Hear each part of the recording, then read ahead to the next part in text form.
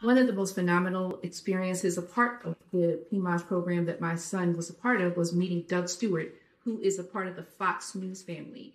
Um, his partnership with PIMOSH extends for many years, and he taught my son some really effective tools, taking copious notes, how to be an effective interviewer during the fashion week that was highlighted in New Haven, Connecticut.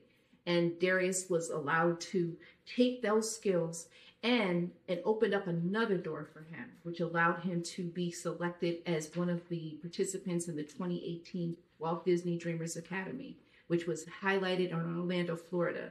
Now, for me as a parent, that was huge because it just catapulted him into the journalist world because he got a chance to interview people. He got a chance to go to ESPN and learn about ESPN and how they work their journalism program.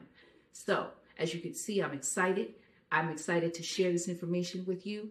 I'm excited for you to be a part of this so that you can allow your child to experience their dreams, their creativity, their goals. So, hope to see you there.